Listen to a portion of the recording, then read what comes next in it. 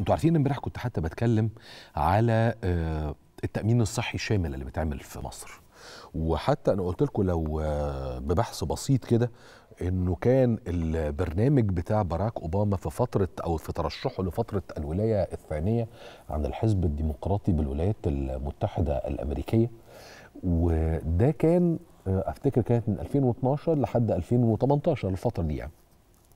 كان أبرز ملامح البرنامج بتاعه والأهم يعني واللي كان يستقطب به الجماهير وما أدى إلى آه، اجتيازه الانتخابات وقتها بنجاح آه، شديد كان مشروع أوباما كير مشروع التامين الصحي واللي كان بيستهدف من وراه تقريبا آه، وجود إيجاد تأمين صحي ل 50 مليون أمريكي.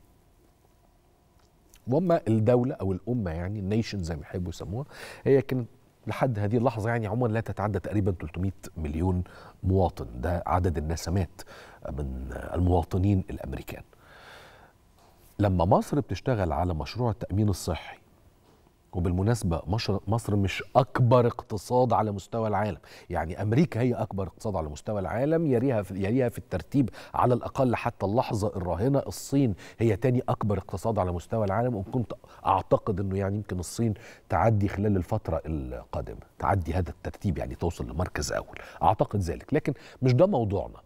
مصر مش هي الاقتصاد الأكبر على مستوى العالم مش هي الاقتصاد الأقوى على مستوى العالم وإن كانت ودي مهم- مهمة جدا وإن كانت هي مرشحة إنها تبقى من أقوى الاقتصاديات اللي موجودة على مستوى العالم. ولا زلت حتى هذه اللحظة أنا بقول لك أهو بإذن الله سبحانه وتعالى خلال السنين القليلة القادمة وقبل 2030 هتكون مصر من أقوى 20 اقتصاد على مستوى العالم.